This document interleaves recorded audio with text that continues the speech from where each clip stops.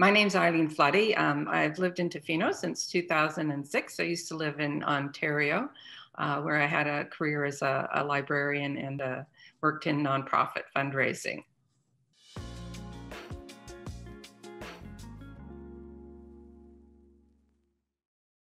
What was my favorite book as a child? The Alice books. I, I have my own copy of Wonderland and Looking Glass in, in one volume. Here it is.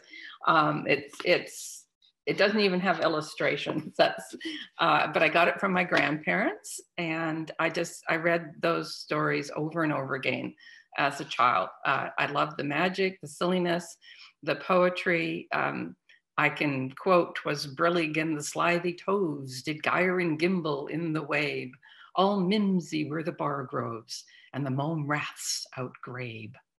Anyway, I read a lot as a, a child, uh, a lot of different books, fairy tales, and so forth. My other much read book was uh, The Golden Pine Cone.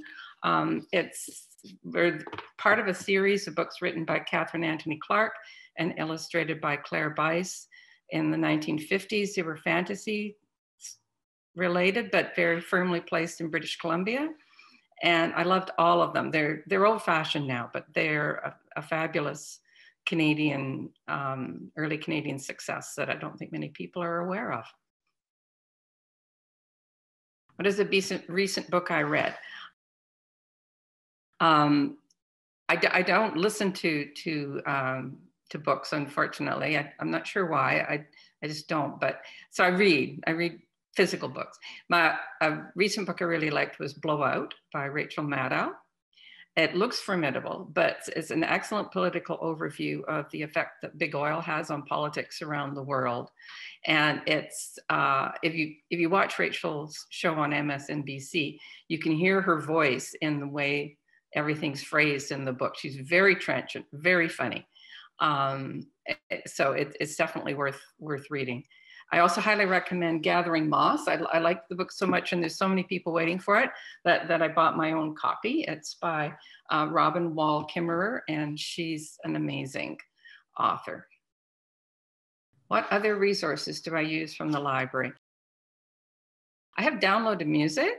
Um, I, I think that that's a terrific feature, you know, the way you can download for free. You know, everybody's uses all these paid resources and and here it is, they're they're available and I've tried to spread the word on that. Uh, actual books are my favorite, as, as I said. Um, I, I, will hope to use uh, the Kanopy, the uh, video um, feature in the near future because, you know, TV gets, yeah, there's limited resources there. And speaking of limited resources, our local Tofino library doesn't have a lot on site. So I use the, the website a great deal. How do I think my life story affects my relationship with the types of books I am drawn to? Um, well, of course, as I said before, I'm a I was a librarian in my past career, and I've always been drawn to new books, I guess. New books um, really grab me. And uh, reading reviews and, and choosing books for the library collections when I worked there was just a real treat. I just I just loved doing that. I, I read a lot of um, nonfiction, especially science and, and political uh, books, as long as they're written well, like the ones that I mentioned. And for escape, right now I'm really enjoying historical based mysteries. Uh, C.S. Harris with her hero Viscount Devlin is a current is a current favorite of, of mine. My husband reads them too. We, we sort of fight over who gets to read it first. Um, I used to be a real fantasy fan, but I find that they're repetitious now and they don't have much grounding in any kind of reality. And there's too many dragons. too many dragons. What does the library mean to me? I, I love libraries. I think they're an essential service. Um, I think, you know, I've read about libraries a lot, and I think one of the things we should do is still mourn the loss of the Library of Alexandria.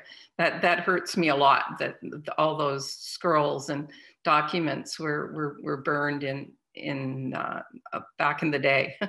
um, nowadays i think there's you know there's a lot of non-book services that libraries are offering and, and have been for actually for a long time I, when i was in libraries. We brought in computers for people to use. And that was a long time ago, back in the, the 80s. Um, but I think there needs to be a real retention of local history and um, and just a sense of place in any library al- along with with the universe of, of resources that are available.